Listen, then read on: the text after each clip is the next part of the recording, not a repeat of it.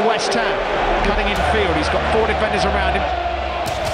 Teasing cross, oh, Hernandez steals it!